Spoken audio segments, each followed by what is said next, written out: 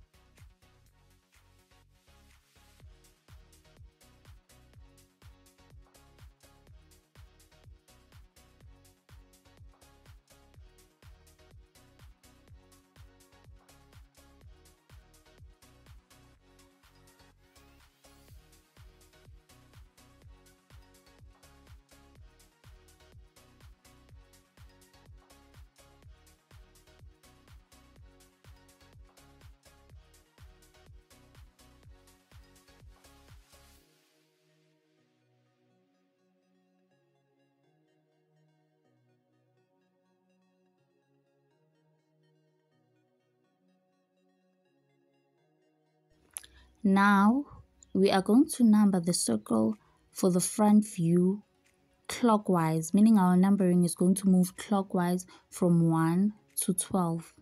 After this, we're going to number the circle for, for the top view anti-clockwise, meaning our numbering is going to move anti-clockwise. So our 1 is going to be at the center line, moving anti-clockwise until we reach 12. We number the circle for the top view anti-clockwise because we are given these views in third angle orthographic projection, meaning in third angle orthographic projection, your numbering will move anti-clockwise.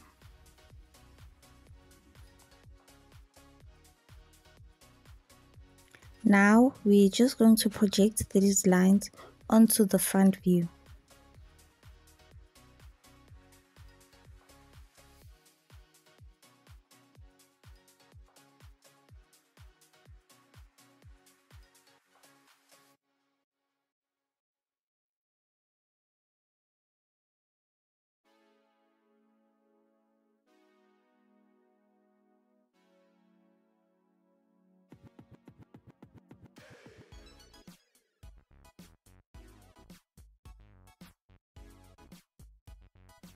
Now you're going to project the lines on the top view and your line of projection should stop at the circumference of the circle on the top view.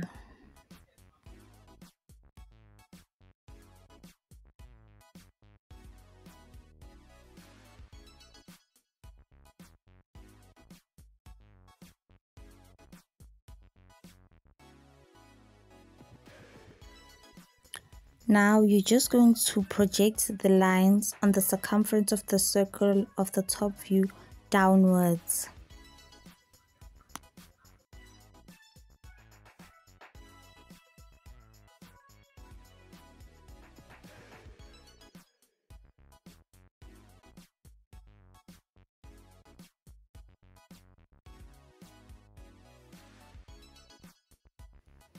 So you're going to make a point with the construction line of 1 on the front view and the construction line of 1 on the top view meet.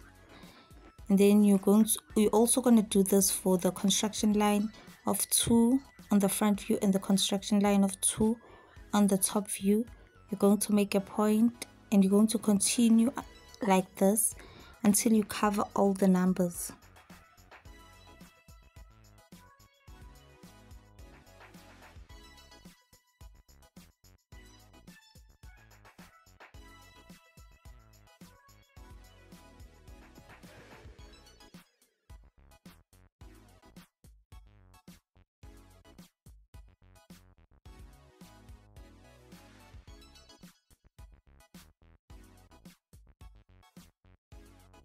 now you're just going to join all these points using your flexi curve and then you're done.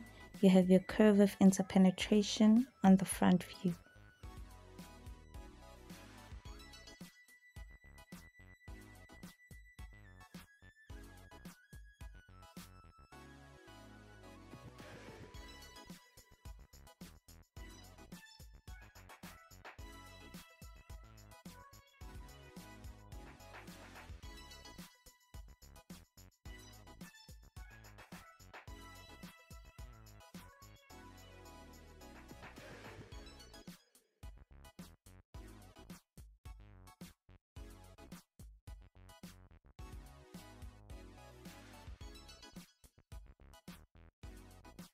so this is the final product. Please like comment and subscribe to the channel for more videos.